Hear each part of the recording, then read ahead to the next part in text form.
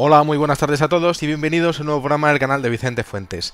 Resulta que, eh, como todos sabéis, eh, si seguís mis eh, últimos programas, pues mm, ha habido una declaración jurada en el Congreso de los Estados Unidos mm, con tres ex militares exponiendo que, bueno, pues que el gobierno tiene tanto trozos de bueno, ovnis, UAPs, tal y como lo llaman ahora, como eh, entidades biológicas extraterrestres en su poder. Muy bien, mm, todo eso mm, se ha sabido porque ellos lo han querido decir. Pero si fuera por mm, parte del gobierno, de la inteligencia del país norteamericano, pues por supuesto no se habría sabido. ¿no? La pregunta clave es eh, si habrá más eh, testigos mm, que sigan su, su, camino, ¿no? Si, si hay más casos y dónde. Bueno, me voy a centrar en mi país. Vaya, mm, ¿sería posible que eh, eso ocurriese? ¿Está tan cogido el fenómeno ovni como para que nadie, absolutamente nadie, ni controladores aéreos, ni azafatas, ni militares, ni exmilitares, nadie hable sobre el tema? Bueno, os voy a contar algo. Resulta que en el año 2016 el Ministerio de Defensa de mi país, España, pues desclasificó más de 1900 páginas de unos expedientes llamados IG-40. Muy bien, era una instrucción general redactada por el ejército en el año 1992 para elaborar pues expedientes sobre avistamientos civiles, es decir, nuestros de ovnis. Muy bien, un cuestionario, ¿no? que se componía de 29 páginas, es decir, todo esto estaba completamente pues estructurado y bien mm, organizado, ¿no? Eh, con 17 preguntas, unas 17 preguntas que me encantaría saber cuáles eran, ¿no? Que se le harían al testigo por parte de los militares eh, cuando hubiesen visto y tuviesen clarísimo que hubiesen eh, pues observado un objeto volador no identificado. Claro, el ejército no se desplaza a un sitio y no realiza una encuesta de este tipo si no tiene claro algo de antemano. Es decir, si ellos no supiesen que hubiese pasado algo. Muy bien. Les interesaría, por supuesto, algo eh, de los testigos presenciales para completar la información. La información para dárselo a quién. Esa es otra de las grandes preguntas de este programa, ¿no? Pero hay más. Porque, ¿qué se desclasificó eh, en, todo aquello. ¿no? Bueno, pues esto, mm, eh, el registro se realizó mm, desde 1992, pero no se ha publicado ningún avistamiento posterior al año 95, desde hace casi más de 30 años. ¿Qué pasa? ¿Es que tuvieron nuevas directrices, nuevos documentos de un total y absoluto silencio a este respecto? Curioso todo esto, ¿verdad? Bueno, entonces, eh, en este... Mm, eh, bueno, mm, en esta desclasificación del año 2016, resulta que el Ministerio de Defensa publicó, por aquel entonces, 80 eh, informes de supuestos avistamientos OVNI mm, entre 1962 y 1995, ¿no? Bueno, Mm, eh, siendo el primero en Murcia en el año 62 y siendo otro, uno que es famosísimo, de eh, Morón de la Frontera en Sevilla en el año 95. Y a partir de ese momento, Defensa, el Ministerio de Defensa, no ha dicho ni mu, no ha dicho nada. ¿Por qué? ¿Quién les dijo que tenían que hacer otras cosas? Venía aquello por parte del gobierno que gobierna al gobierno que gobierna al gobierno de los Estados Unidos? Son esos grupos Illuminati que mm, no tengo ninguna duda de que conocen este tema a conciencia? Bueno, el tema es que según la relación de casos de avistamientos de fenómenos extraños, pues eh, resulta que mm, ha habido, vamos, de todo, ¿no? En tierra, en mar, en, en, el aire, incluso desde un avión, ¿no? Como el caso del 9 de septiembre del año 78 sobre el mar Mediterráneo, eh, a unos 140 kilómetros de la ciudad de Barcelona. Mm, increíble, ¿no? Y la prensa no dijo nada. ¿Por qué? ¿Por qué ni uno solo de estos avistamientos se le dio mmm, algo de, bueno, pues de cuerda de decir, bueno, ¿y qué ha pasado? Y, y más, más información, señores. Todo esto está completamente controlado.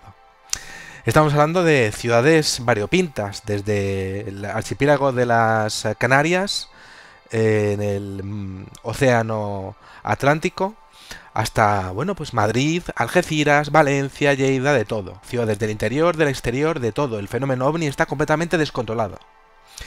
Hablamos de puntos rurales, de puntos mm, urbanos, mm, y esto ya ha pasado en Estados Unidos, como las luces de Fénix.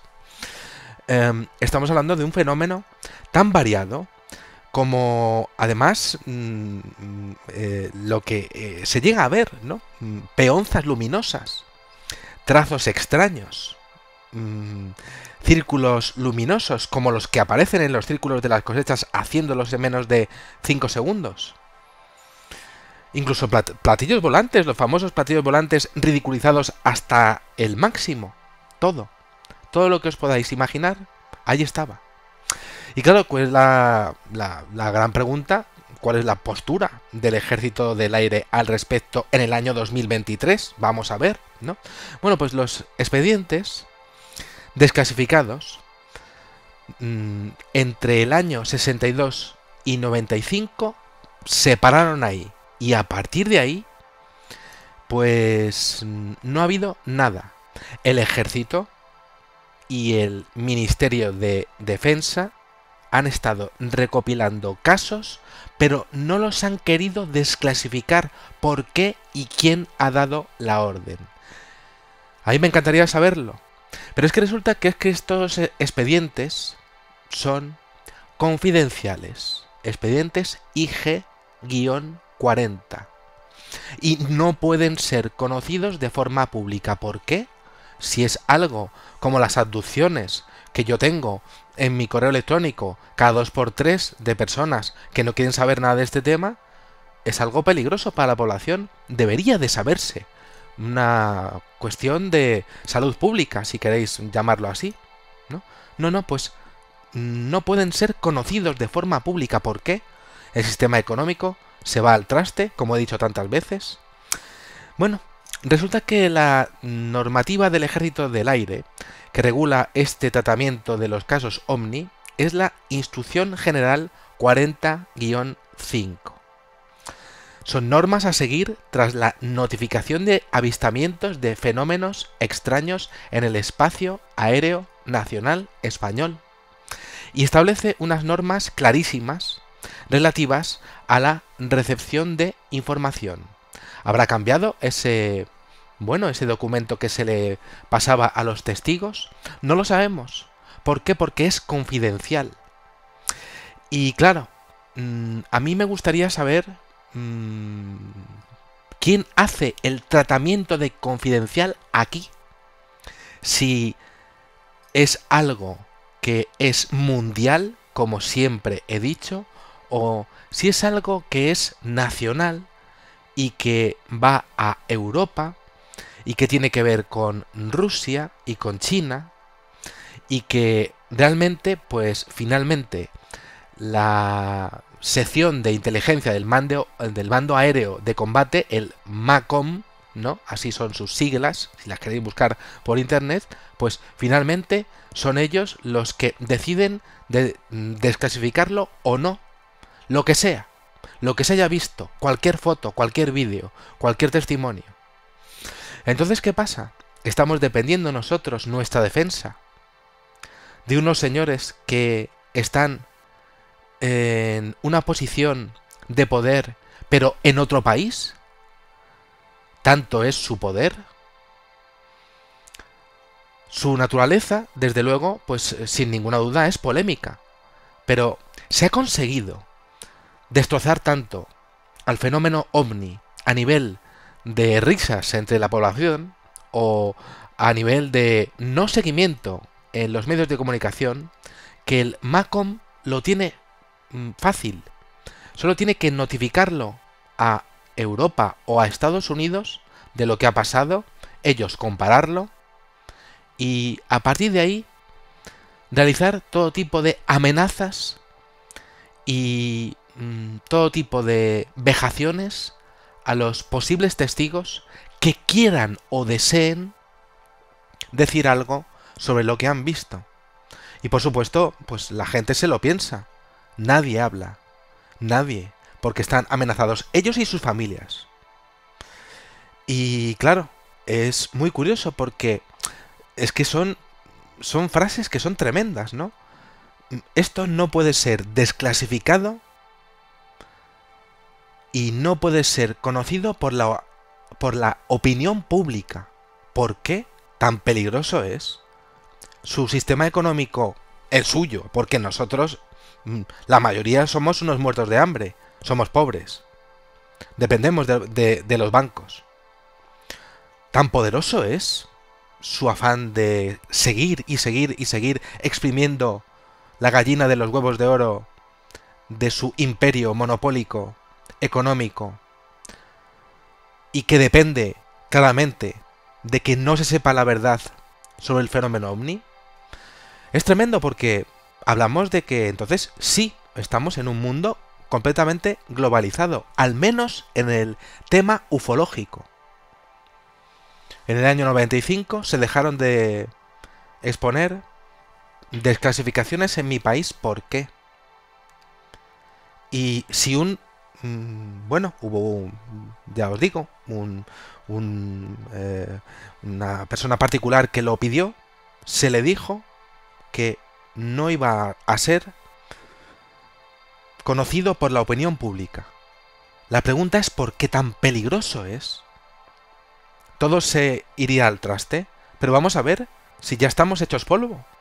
Si la gente en África muere sin parar, niños muertos y sin agua, nosotros no podemos pagar las facturas. Dependemos de los bancos y de sus hipotecas. ¿Tanto es su poder? Pues sí. Y de hecho se va haciendo poquito a poquito, sin que nos demos cuenta. Y sí, efectivamente, se van dando nuevas directrices porque el mundo cambia. En el año 95 se mejoró la informática. Había que mejorar todo lo que era el sistema informático de lo que era una posible desclasificación. Básicamente, coger todo lo que había anteriormente, incluso todo lo de Roswell, y dejarlo perfectamente ordenado y clasificado también por países. Y todo esto informatizado, de forma tan ultra secreta que nadie jamás pudiese piratearlo. Hasta ahí llega su poder y nosotros, por muchas peticiones que podamos hacer, no podremos saber jamás la verdad porque son ellos los que disponen de un poder ilimitado a este respecto. Pero siempre hay algo que falla. O ellos que se presenten, o una frase. Nada es perfecto. Nada más, señoras y señores diputados. Espero que les haya gustado muchísimo este video programa y os espero en el siguiente. Muchísimas gracias y que sepáis que en una vida hay muchísimas vidas. Adiós.